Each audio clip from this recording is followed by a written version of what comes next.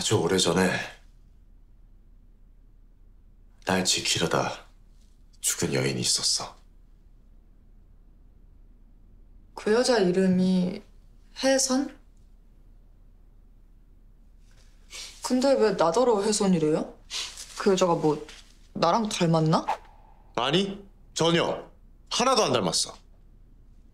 뭐야?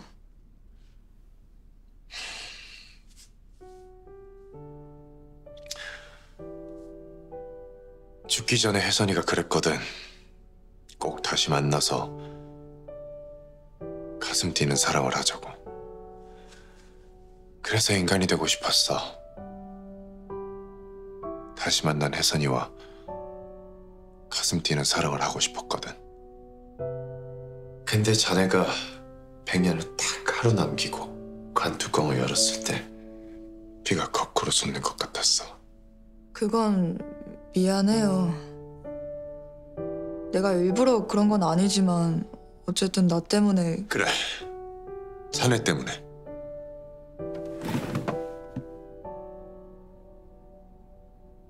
자네라서 관뚜껑을 열 수 있었던 것 같아.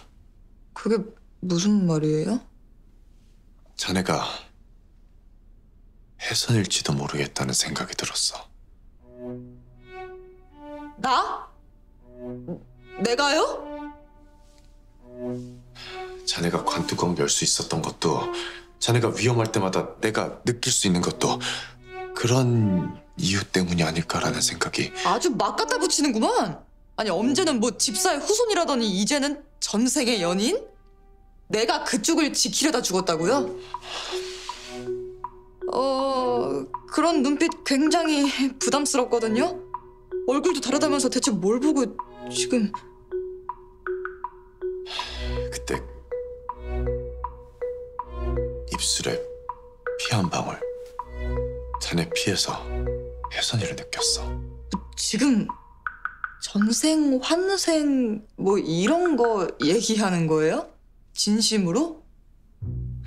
무슨 드라마 찍어요? 아니 장난하는 것도 아니고 현생 살기도 버거워 죽겠는데 무슨 전생 타령이에요?